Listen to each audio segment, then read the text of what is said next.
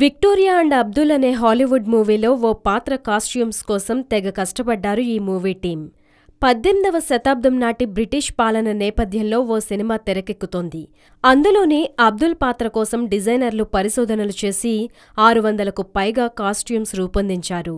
కథ ప్రకారం సన్నివేశానికి తగ్గట్టుగా దుస్తులను ఎంపిక చేయడానికి నానా తంటాలు పడ్డారు వీళ్ళు హాలీవుడ్ నటి జుడీ డెంచ్ ఇంగ్లాండ్ మహారాణిలా నటిస్తుండగా భారతీయ నటుడు అలీ ఫజల్ భారతీయ సేవకుడిగా ప్రధాన పాత్రలో నటిస్తున్నారు.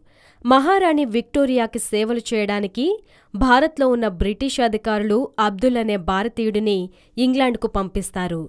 అక్కడ విక్టోరియాకి సేవలందిస్తున్న అబ్దుల్ ఆమెకు స్నేహితుడిగా గురువుగా మారిపోతాడు. వారిద్దరి మధ్య సాగే బంధమే సినిమా ఇతివృత్తంగా సాగుతుంది.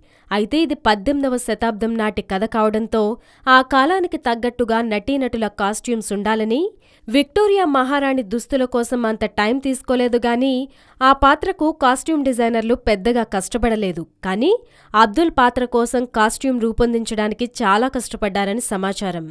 దీనికోసం మూడు నెలలు కష్టపడి ఆరు వందలకు పైగా కాస్ట్యూమ్స్ను తయారు చేశారు. వాటిలోంచి సమయాన్ని సన్నివేశాన్ని బట్టి దుస్తులు వినియోగించాలనుకుంటోంది ఈ హాలీవుడ్ చిత్ర యూనిట్.